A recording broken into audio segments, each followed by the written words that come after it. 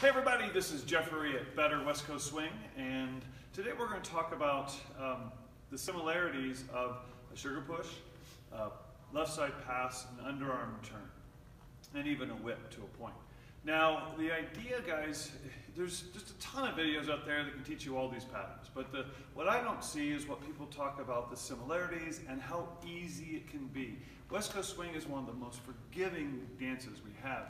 Um, now I'm going to talk about the footwork uh, for the men. Now, uh, we talked about connection in a previous video, and, and I will demonstrate these with a partner on uh, eventually on one of these videos. But today we're going to just talk about what our feet are doing. So what we all know that we want to stand up, and we want to have our head weight over the ball of the foot and our sits bone over the heel. All right. Now, when I'm doing a sugar push, guys, here's my basic footwork. Now, girls, it's very important that you watch the men's footwork as well because it's the only pattern we have, at least in the basic, that is the exact opposite in a sugar push. Uh, your footwork is exactly the opposite. It's the only one we have. And if you know what a man's doing or trying to do in his patterns, you'll have a better idea of what you need to do and vice versa. Guys, really, I always advise people to learn both parts. Uh, learn your part first, get good or pretty comfortable with your part, and then attempt to learn the other partner. And then that way you understand what you're trying to do for each other. Now, guys, the basic footwork for a sugar push, uh, there's, I'm sure there's variations that people might talk about, but this is the way I do it. It's very simple. It's, it just goes back, back, back, replace, forward. Now you'll notice that I went and started exactly where I finished uh, in the same spot. So, so my two steps back, my shoes are tied together. I'm going to step back, back, back, replace, forward. Now I push back through my back foot. We have a three-toe base back there. I'm to bring my right foot just underneath my hip socket and go anchor step. Pretty basic and pretty simple. Now girls, yours um, is the exact opposite.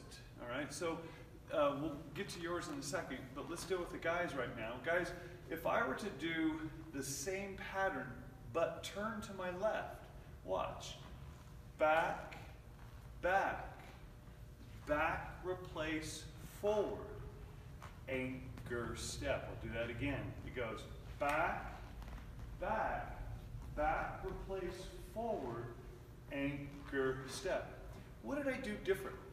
I did the exact same sugar push, I just turned it. That is it. The footwork that goes back, back. The first two steps were exactly the same as a sugar push. It was just curved. That's all I did. I didn't do this crap. I didn't go over here. Okay, I went back, back. Okay, we can do even do it this way. Back, turn, back. It's the same thing. So all I did was turn. So it all depends when you want to turn. The easiest way, guys, if you've been drinking, this is the easiest one. Just go back, curve back. All right? But the back replace forward is exactly the same on every pattern. I don't know why people don't talk about this. That's so important because I see guys, they do a pattern and they just kind of stand and forget what to do with three and four. It's the same thing for every pattern, so it makes it so easy. So you're going to go back, back, back, replace, forward, anchor, step. So the anchor's the same, the walk walk's the same. There is nothing different except for how I led it and the fact that I got out of the slot and let it go by me. So if I'm doing an underarm turn, underarm turn is very similar, but I'm going to do it, uh, so I'll do it this way. So if I go back for step, back. Now, I could go back again, but I don't we don't teach that typically in the basics, but we're going to go back and we're going to turn our chest to the right and we're going to cross over. Now, I didn't cross over. It's really the fact that I turned, my legs cross. Okay? So that's different. Yeah, we get that. So I go back, I turn and step down. I never, ever go forward on two. Guys, if you're doing this crap, stop. Stop. Because you're shortening the girl's uh, slot, and she has no idea that you just shortened it. So as you go back and you cross, now what I'm going to do, watch my feet. Back, replace, forward, anchor step. It's exactly the same thing. So back, replace, forward is your three and four every single time. I'll do it this way. One, turn, back, replace, forward, anchor step. Now, I will tell you that that forward on four is dictated by the woman. If she's going really big past her zone, which we'll talk about, then I've got to go with her a little bit. Okay, guys? I am not going to let her go really too big and me just step here. I'm going to go where she goes. Okay, but step back into your slot. So what do we have? We got the one, two is the same except for on the underarm turn. All I did was do a little cross and turn. Uh, we've got the three and four, which is the same every single time. And then we got our anchor step, which is the same every single time. We can do variations of the anchor, but you really, really have a hard pressed time doing a variation every three and four, in my opinion. Guys, one thing I realized was when you do three and four, uh, and you go back like this, and you here, and I go, that little back step, that little bit of back step, help encourages the girl to come through as you rotate your chest. So it's real important that you work on that three and four. So, so we're, we'll make this a short video, and I really want you to focus on being sure that you go back, replace, forward, whether it's your sugar push, your underarm turn, or your left side pass, okay? Now, real quick about a whip. Is the whip different?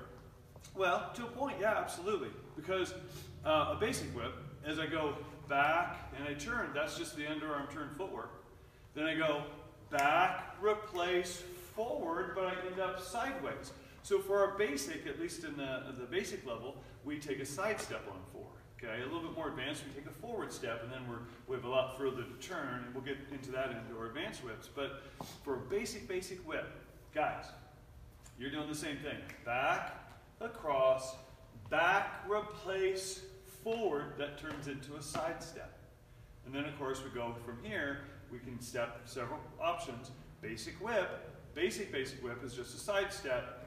Then I step back into the slot, just like before, then anchor step. So you can see the similarities of every single pattern we do. So uh, I just want to get this a quick video and uh, give you some information. Guys, this is for you, and focus on your three and four. So one, two, basically the same.